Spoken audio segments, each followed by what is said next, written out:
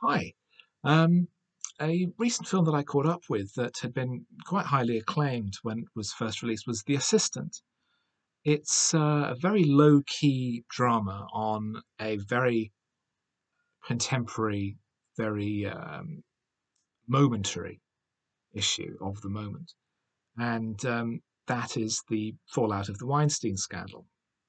It's written and directed by Kitty Green and stars, uh, I believe, Emmy winner, Emmy winner Julia Garner uh, as the assistant to a film producer.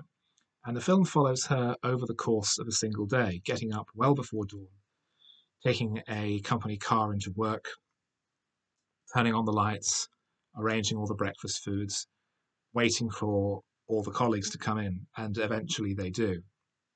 And over the course of the day, she has various menial tasks to perform uh, filing, getting people's lunches, scrubbing things off couches, and uh, eventually she uh, is moved by several events, such as someone turning up at reception saying that they've been hired as an assistant, even though they have no qualifications, and the producer has just met her at some restaurant somewhere. Um, a woman turns up uh, to collect an earring that was left behind in producer's office.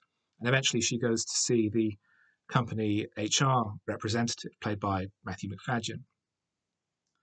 And she voices her concerns, but he openly and bluntly gaslights her into believe or, or suggesting to her rather that she is imagining it that um, her behavior could be extremely damaging to her career because she would be seen as untrustworthy and effectively dismisses all her concerns out of hand, even though at the end of their meeting he tacitly acknowledges these concerns are real, you just can't you can't talk about it. Um, it's a very finely calibrated, very careful film. It's very it's deliberately very banal. It's about almost the banality of evil. That this producer figure, whom we never see, whose voice we hear muffled in phone conversations, so that we can hear we can hear the words, but we don't necessarily process the, the sound of the voice. Um, that this this figure is, is a controlling figure, and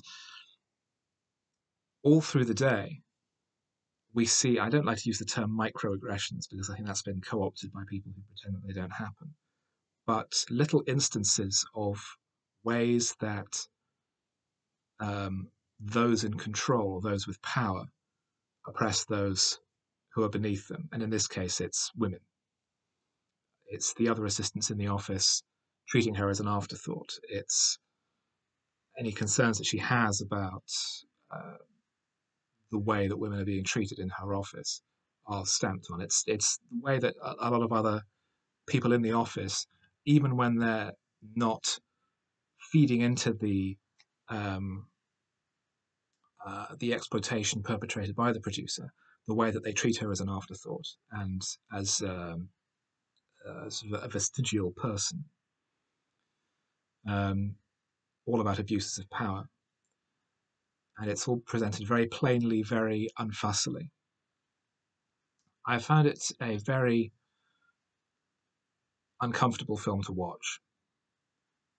The way it's presenting an office environment so bluntly, but so filled with abuse, effectively, abuse and exploitation, and ending without resolution.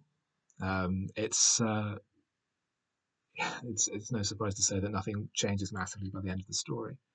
Although it's noticeable that when the assistant goes home at the end of the day, she has to walk rather than take a car as the one that took her to uh, the office in the first place. Uh, I thought Julia Garner was excellent as her uh, in a, a, very small, contained performance, someone who has been browbeaten sufficiently that she's no longer comfortable speaking aloud or voicing her own concerns